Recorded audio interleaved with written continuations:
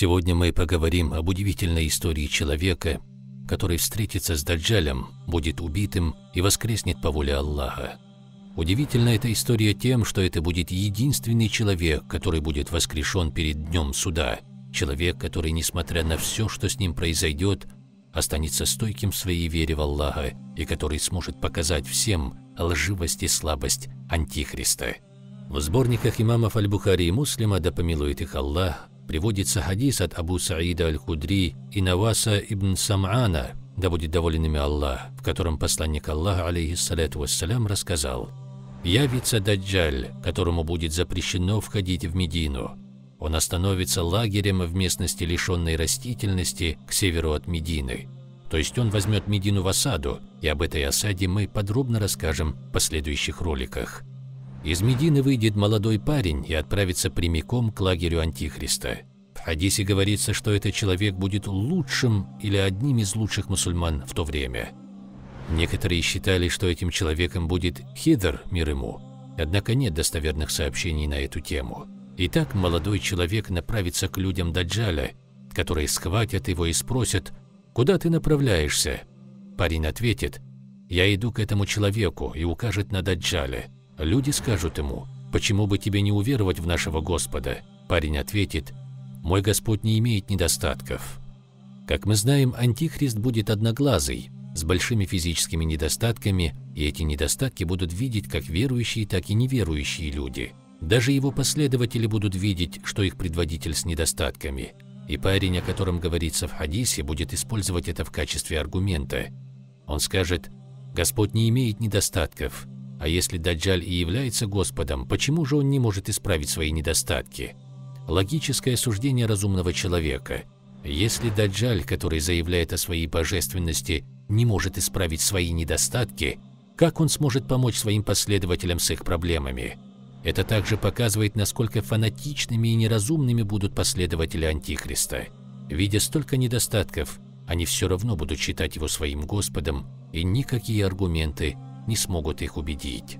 В хадисе дальше сообщается, что люди схватят этого парня и станут говорить «Убейте его!». Другие будут говорить «Разве ваш Господь не запретил вам убивать кого-либо, кроме как с его позволения?».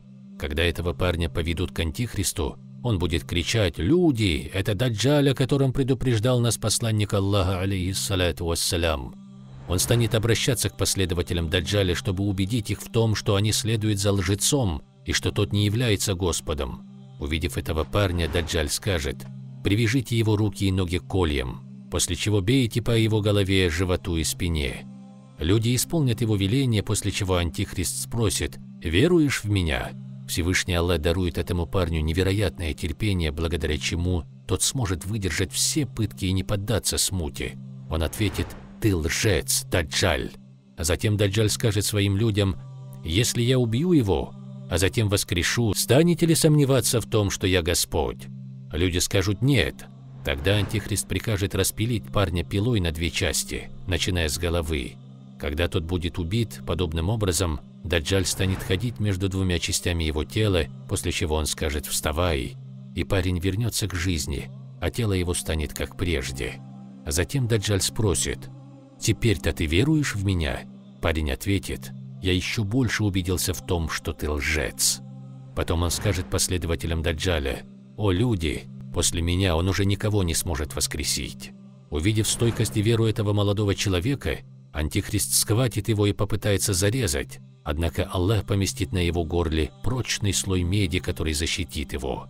Тогда Даджаль схватит его за руки и ноги и выбросит в огонь, который на самом деле окажется прохладной водой. Последователи подумают, что парня выбросили в пылающий огонь, однако посредством этого парень попадет в прохладную воду.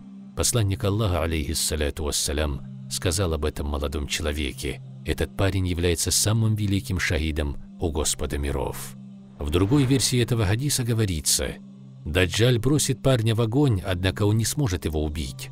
Получается, что этот парень будет убит в первый раз, однако во второй раз он не умрет. Данный хадис вызывает у некоторых людей недопонимание, ведь в другом хадисе дядя пророка, алейхиссалату вассалям, Хамза ибн Абдуль-Мутталиб, да будет доволен им Аллах, был назван Саидом Шухада, то есть господином всех шахидов. Между этими хадисами нет противоречия.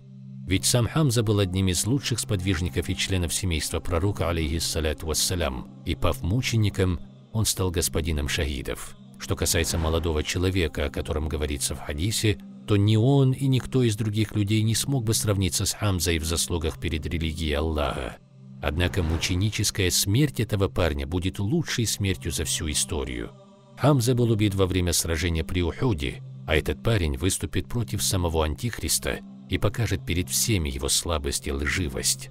Поэтому пророк, алейхиссаляту вассалям, и назвал его самым великим мучеником у Господа миров.